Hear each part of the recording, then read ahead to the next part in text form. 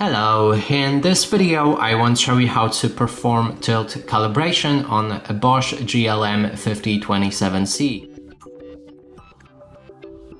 To do this, first we'll need to click on the gear icon in the bottom right corner of our tool, then navigate to the three dots right there for more settings, and then there's the circle which is tilt calibration.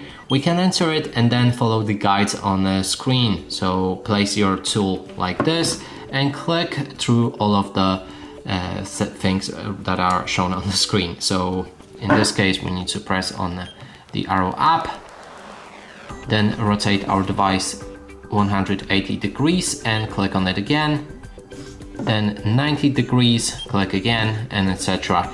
And that's it for this video, hope you like it, please consider subscribing to our channel, leave a like and a comment below.